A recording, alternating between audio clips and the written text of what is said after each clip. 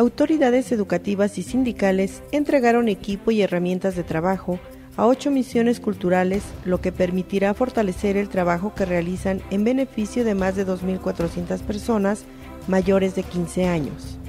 El secretario de Educación Pública de Tlaxcala, Tomás Monido Osorno, reconoció el trabajo que realizan los más de 80 maestros misioneros por promover el desarrollo integral de la comunidad a través de la capacitación para el trabajo, la impartición de la alfabetización y educación básica, así como la recreación y la cultura.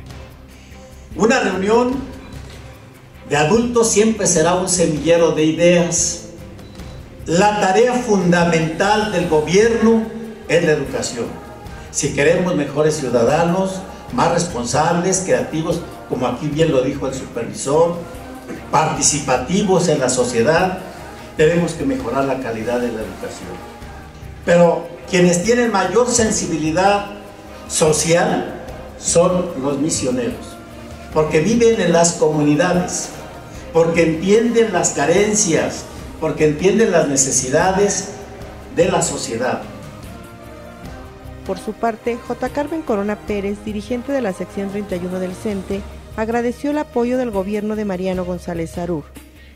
Y agradecer el hecho de que podamos tener las herramientas de trabajo que nos permitan eficientar el servicio para beneficio de las comunidades en donde están asentadas las misiones culturales que son las más necesitadas. Estimado doctor, muchas gracias por esta respuesta.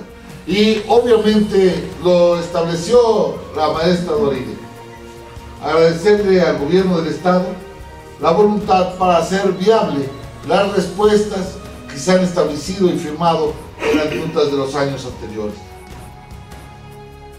Doraide Sánchez Cano, coordinadora de educación extraescolar, explicó que desde la creación de las misiones culturales ha sido un subsistema para el desarrollo del individuo, pero es necesario no solo del compromiso del educador, sino también del acompañamiento y apoyo de las instancias gubernamentales.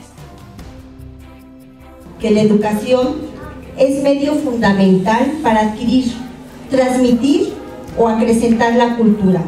Es proceso permanente que contribuye al desarrollo del individuo y a la transformación de la sociedad y es factor determinante para la adquisición de conocimientos y para formar al hombre de manera que tenga sentido de solidaridad social. Agradezco al señor secretario de Educación, doctor Tomás Munive Osorno, por habernos dotado de instrumentos tan necesarios para llevar a cabo la labor del maestro misionero. Las comunidades marginadas del Estado también están agradecidas.